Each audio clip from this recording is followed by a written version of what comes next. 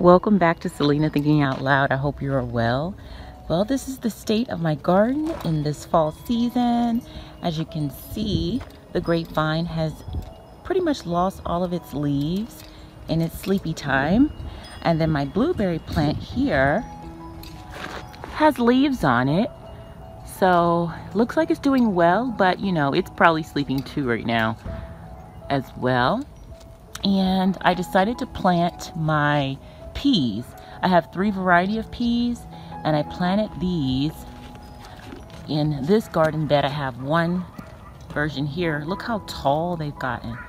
These are two feet tall and these are the pea sugar, super sugar snap peas. I planted them on September 18th.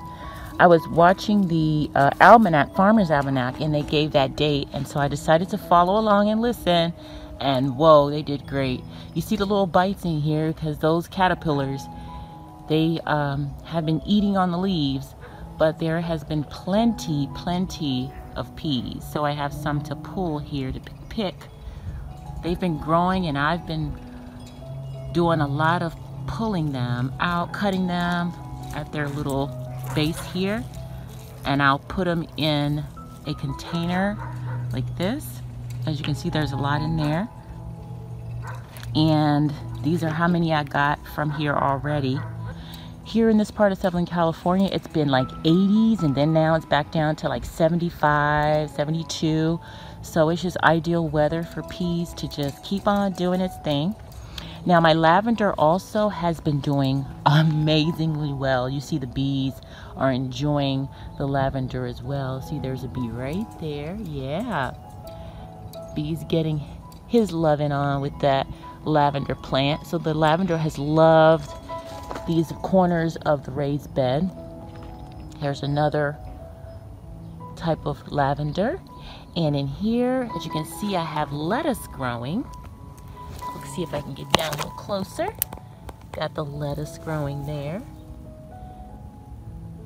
Bunches of lettuce and some nasturtiums are growing right here. I was so surprised. They're so they finally came up. I planted these seeds back in spring, nothing happened, and now they just came out of nowhere. So I'm very happy to see them too. And over here is another variety of peas here as well. And these peas, let me see what the type is. Okay, here we are. These are progress number nine peas. I also, as you can see, planted these in September as well. And these were slower to grow. And as you see, they're about, mm, say about a feet and a half tall. So, um, but you see how beautiful? These are ready to go. And so I'm gonna go ahead and add those to my batch here and just keep uh, cutting at the base here. I do is I just like to put these in salads and or sometimes I stir fry them but um, I'm gonna put a mixture of these in my dinner dish I'm gonna do with some spaghetti squash I also had growing and I'm gonna make a dish with that like a squash casserole but these are ready to go and I just cut right here and I put them in a plastic container seal the container and I put it in the refrigerator and they last they last for a good mm, week or so, but I eat them really fast, so I don't let them last for a week. But from what I've shown, seen, they, they last a, a while in a sealed container. And then when I'm ready to eat them, I just cut off this part here, snip off this part, snip off the end, and then if there's a, a piece of a string in here, I take that out and I just pop them in my mouth. They're really good. These are Cherry Belle radishes. As you can see, I started these in October. And as you can see, let's see, you see some, you see the bottoms there. Closer. Oh yeah, there it is. You see how it's sticking out right there? That one's probably about ready to come out. They said you just have to test it and see. Yep, that's a radish. It's ready to go. Yay! So it was sneaking, sticking its head out of the soil there. So this one's ready to go. And wow, guys, look at all of these peas I've gathered so far from just two of my sets of pea uh, plants. I think I planted about two, four, six, eight per pea. So I had eight on one side, eight on the other, and eight on a third plot of three different types. So they are gorgeous. Aren't they gorgeous? And they said you know that they're ready because the length of them should be the length of your hand. And as you can see, that's the length of my of my four fingers together. So that one's ready to go. It's very beautiful, huh? So tasty. They're nice and sweet.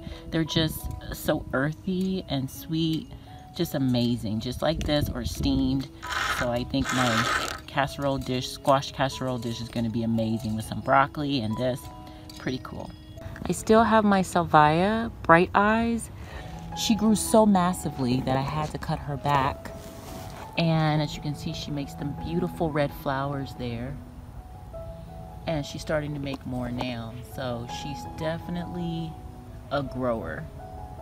So I thought I would add flowers, a mixture of plants, as well as vegetables in my garden bed, which has been really, really great, beneficial for me. And then this cactus here was a baby and he is just loving sitting here because he gets a little shade from her, the bright eyes, but he does get enough sun as well. So he's nice and bright bright green as well. And there's another nasturtium just coming up in the back. Like I said, I planted all these earlier in the year and nothing happened. And I guess the temperature is perfect right now. So they are all coming up and budding up. In this little area, I planted some carrots and they are finally coming up. I have about four that made it. One, two, three, and one over here is four.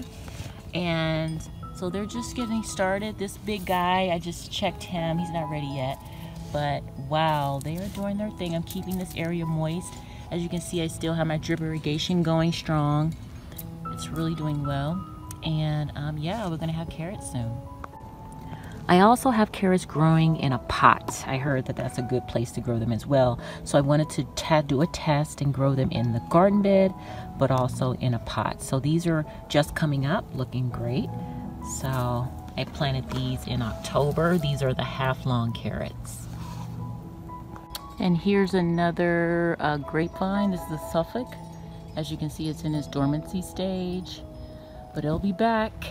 And I've been keeping still been keeping the soil moist anyway uh, so but it'll be back next year. And here is a pumpkin. This is actually an orange jack-o'-lantern. It was so small I didn't think it would grow so it's just started to grow now. And as you can see it's flowering a lot. The bees are loving it. And I'm just letting it go doing what it's doing.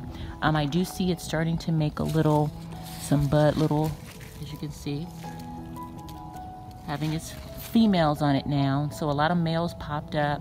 These are all male flowers. So I'm starting to see some female flowers coming now. So maybe I'll get a pumpkin, never know. But it's growing, so I thought I would just let it continue to thrive. I went ahead and cut back my California Wonder Pepper and it is definitely going to be doing some things next year. It's trying to even make some more leaves now, but I cut it back so it can be ready to hopefully give me some peppers early in the season. Um, as you can see, I still have tomatoes, which is, I am just amazed by this, this Amelia. I got this as a transplant. It was on its deathbed of um, survival. I babysat it, um, and then I said, you know what, let's go ahead and put it out here before it got um, too cold and it has just thrived. I've had so many tomatoes, it's unbelievable. And as you can see, I have still so many tomatoes. So I'm just gonna let it go as long as it wants to. And um, when it starts to die off, it's a determinate form of tomato, this Amelia. I've been cutting off some of the leaves to kind of keep it a little more organized and neat. But as you can see, it's a lot of tomatoes here. Look at these. They're just everywhere. Look at that, how beautiful they are. Nice and big, huh? Yeah, look at that. I'm just waiting for them to ripe up and get a little red and then I'm gonna go ahead and take them in the house and I've been eating them just like this, slicing them in salads, Um, and they have just been very delicious. Here I have an okra. I started this okra from seed just to see what it would do. As you can see, I have one little okra here. So I'm gonna go ahead and just test it out, see how it goes. And I know it really likes hot weather. So it's been so warm, so I guess that's why it's trying to give me some fruit. But we'll see how that one goes as well. And here is my asparagus plant. As you can see, it's just growing very, very tall. So I had to put up a little stability here with some clamps. And so they say first year, just let it grow and go into flower. And then next year, I'll be able to take, snip some of the asparagus plant off, some of the asparagus is off and eat them. But they said to just, you know, do it sparingly every year. And asparagus is a perennial. I learned that this year. So that's pretty cool. So I should have this plant for a very long time. And these again are Cherry Belle radishes. I decided to put some in two raised beds to see if it mattered which side, which raised bed would produce better. And they seem to all be doing great. I have pulled already out five out of here. So um, these are doing very well. Um, yeah, I'm just checking the root there to see if it's ready. No, not yet. Almost. It's getting big there. But I have my mums right here, her doing their thing too, and some more of this beautiful lavender that the bees are absolutely loving. So that's pretty cool. Last but not least, here's my final bed of peas. These are snowbird peas. I've been getting a lot off of here since they started. I also started these in September and look at them go. I'm gonna be going ahead and harvesting these peas as well because they're good to go. See the length they're ready to go too. And so I'm gonna go ahead and take these off. They have been giving me so many peas. I'm so happy about that.